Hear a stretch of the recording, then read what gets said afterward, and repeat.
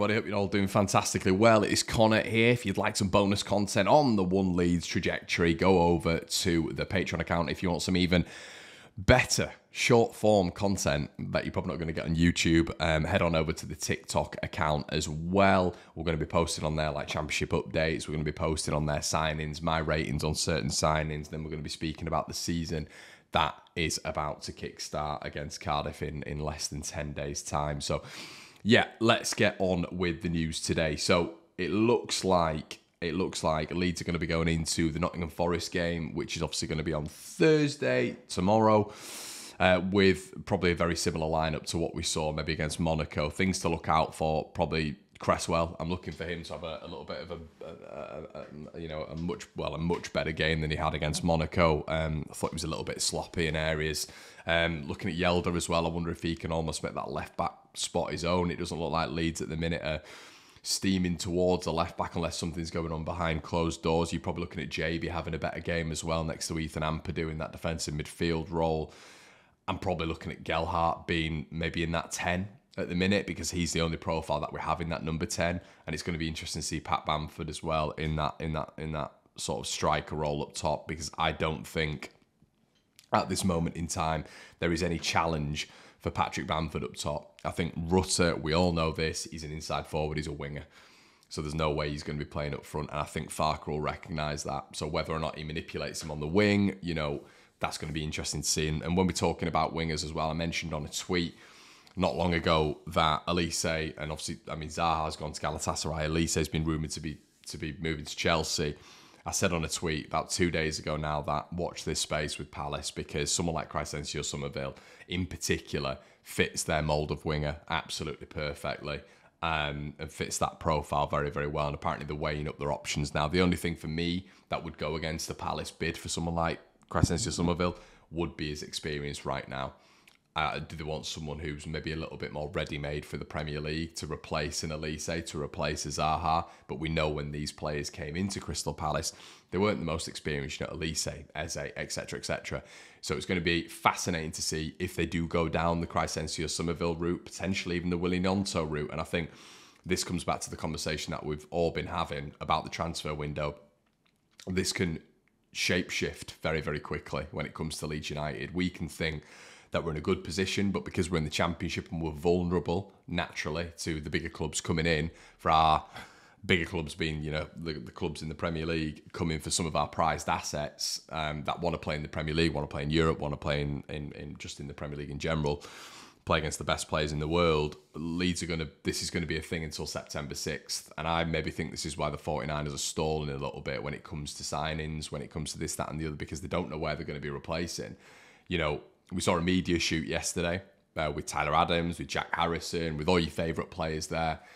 I think I'm just a little bit tentative when it comes to that. I, am not reading too much into that because, for a fact, you know, Max Wöber was going to be draped over the stadium. He was the, the he was talking last week. Essentially, someone said to me on Twitter he didn't say that he was staying, but come on, read between the lines. He pretty much said he was staying at Leeds. He wants to fight in the championship for Leeds, and then he's gone three days later. So I don't really believe in loyalty in football. I think there's no sentiment attached, especially you know when you don't have the Calvin Phillipses of this world who were born and bred in Leeds. I don't, uh, and, and still, you know, he moved on, which you know he obviously would have moved on, but he, you know, he, he deserved it at that moment in time. But he needed a bigger, bigger project in his career.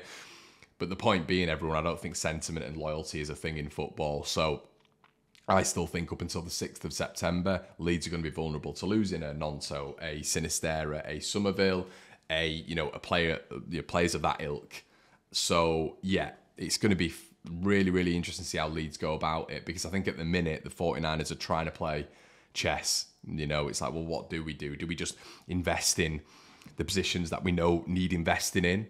Um, or do we do we go for players who potentially, you know, we, we know maybe certain players are going to get interest throughout the remainder of the transfer window. Do we just bring in profiles, i.e., let's say if we lose Gnonto, um, do we bring in another winger just to compensate that? You know, it's it, it's very they're going to have to go about it in a very um, strategic way, I think, and that's maybe where they're finding it a little bit difficult. Joel, Joel Piroe, uh, we're speaking about him a lot. And you know, I said in a tweet the other day that it's going to be for me. It's going to be if it is us, Southampton or Leicester to go in for him. That potentially is a league winning move, just on the basis that this kid um, is has got a good ratio in the championship. He's used to the championship. He's got a lot of very decent attributes. Um, and if he's you know averaging out at what 17 16 17 goals a season um, and plus in, in sort of a poor Swansea side what what's he maybe going to do at a Leeds United a Leicester or a Southampton's? Keep your eye on that one. Are there better profiles out there for a striker? For me yeah there are. There are better players for Joel Piroe and I've kind of tried to be consistent with that.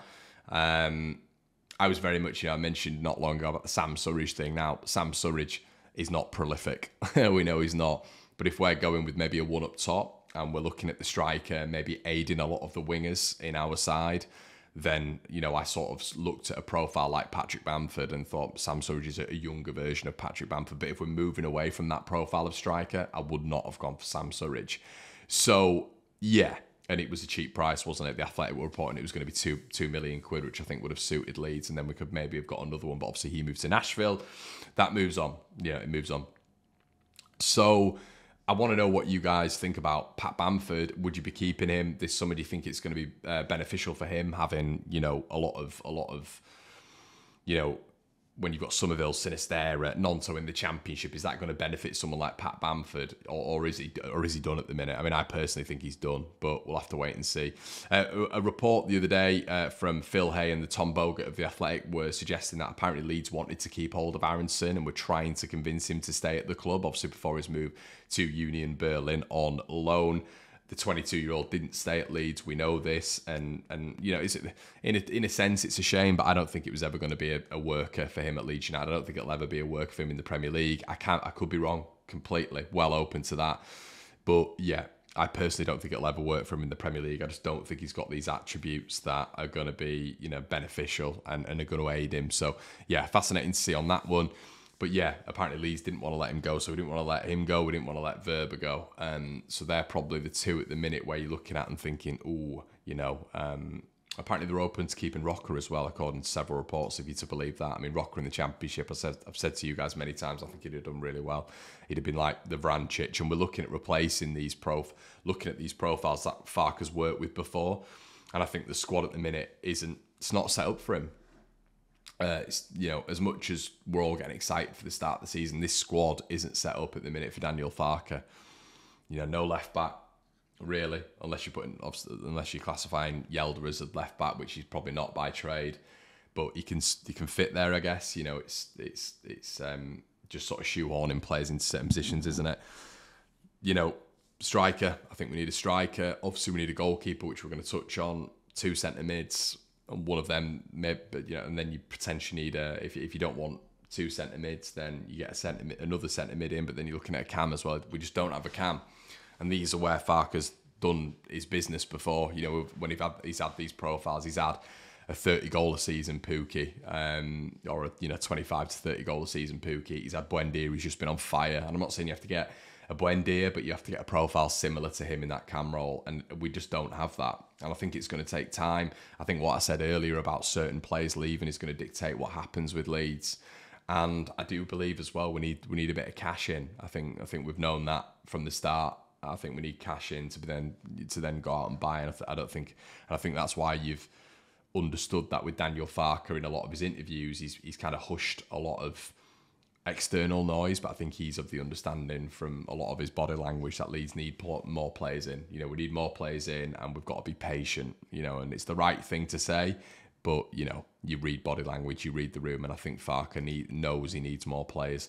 Uh, the Mail were claiming yesterday they did a big report on Leeds United, and apparently the 49ers are ready to spend 200 million to expand Leeds United's Elland Road Stadium from the best part of 40,000 to 55,000. Um, they were talking about how Tottenham make 5 million plus on a match day, and Leeds make a million plus on a match day. I mean, they've had on the season ticket waiting list now. I think they've had 25,000 for about three years, haven't they? So, yeah, Leeds would fill out 55,000, but I think, you know, to be able to do that, you'd be, you need to be in the Premier League regularly. So that's when you talk about an aggressive transfer window. I'm, I'm much more bothered about what's going on on the pitch now because I think on the pitch matters, take care of off the pitch matters as well.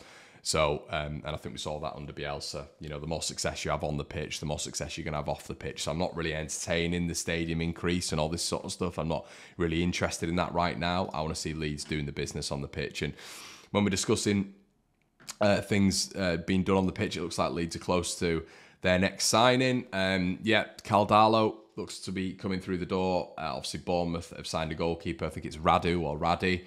Um, by the way, what some, some terrific signings Iraola's made. Bournemouth have had a terrific window, absolutely fantastic window. What could have been, eh? Um, very jealous, very envious. But it looks like Leeds are closed in on Carl Darlow. Um, it's all right. Yeah, it's okay. Um, you know, someone who's probably not renowned for for, for, for playing that sort of way uh, in terms of just passing out from the back and and you know starting things from that from that keeper role. Um, however, you know you look at Tim Krul under Farke, he, he, he wasn't you know notorious for playing out from the back. He was one of the old school the old school gens where it was you know hoof the ball up the pitch. But Tim Krul obviously had that Dutch style, which was you know naturally playing out from the back anyway, total football and all that sort of stuff, um, which was probably embedded into him as, as, as a product of any of any um, Dutch academy. So yeah, maybe he was a little bit more used to it. But Carl Darlow, he's been around the circuit a little bit, hasn't he? I think he was on loan at Hull last season. Um, yeah, saw a little compilation of him at Hull. It was, it was okay. It was all right. Um, it's going to be interesting to see what happens in terms of his minutes. Is he coming in as a first choice keeper? Is he coming in as a as a backup keeper? Because I don't think we'll sell Meslier. To be honest with you, someone was asking me the valuation on Meslier, and I think you'd probably get eight million for him potentially uh, this window. You know, if I'm being completely realistic, I don't think teams are going to go to 15 to 20 for Meslier at all, especially after the season he had, especially after he was dropped towards the back end of it. And, you know, proper clubs would analyse Meslier's, Meslier's um, you know, last 18 months and probably say, look, he needs a lot of work and, and people need keepers for the here and now. Premier League keepers, I need to be ready right now at his age. Um, and need to develop. Obviously, we saw that with the likes of Ederson. We've seen that with Alisson. But you know, I think there are a lot. I think there are a lot of better goalkeepers than Illan Meslier in the Premier League. I really do, and I don't really see what side he fits in in. Um, so yeah, that's obviously going to be a problem when it comes to money because you you know it, would really only be the Premier League sides, in my opinion, that would go uh, big bucks for Illan Meslier. Um, but he's an asset at Leeds. But yeah, it's going to be interesting to see the dynamic between those two because I don't think Carl Darlow would come as a, come in as a number two. However, he might not have another option he may not have another option. So maybe he's looked at Leeds and thought, well, okay, I don't have Bournemouth anymore. So in that Premier League wage, I'll look at Leeds United and I'll go in there. So maybe he is going to be a number two. It's interesting for me, really, because obviously we know, uh, I believe Rob has gone to the, the Middle East, hasn't he? I don't really understand what the difference is between Darlow and and um, Robles, I guess maybe more championship experience. I think they're both 32 years of age, aren't they? Uh, both similar, and it's going to be interesting to see. Like, I mean, could Robles have just continued as number two? He seemed happy to do that. Um, but obviously, Robles is now gone. I don't know if there's some contractual dispute there, and maybe it's likely that Darlow does come in as as as number two, or there's going to be competition there. Um, but yeah, yeah, uh, who knows? Who knows? Everyone. Do you? Well, let me know what you think in the comment section below. Do you think Roberts is going to come in as? Uh, sorry, is going to come in as number one. Do you think he's going to come in as number two? Uh, but yeah, Leeds close to number two uh, when it comes to signings. Yeah, I'm all right. It's okay. It's an all right signing. I think there was better out there. I think there was worse out there. It's an okay sign. I'm not just going to get massively hyped because he signed for Leeds. It's, it's a decent signing. It's all right, isn't it? Um, let me know what you think in the comment section below. Everyone, head over to the Patreon as stated if you found some bonus content. Have a good one. I'll speak to you in a bit. Cheers.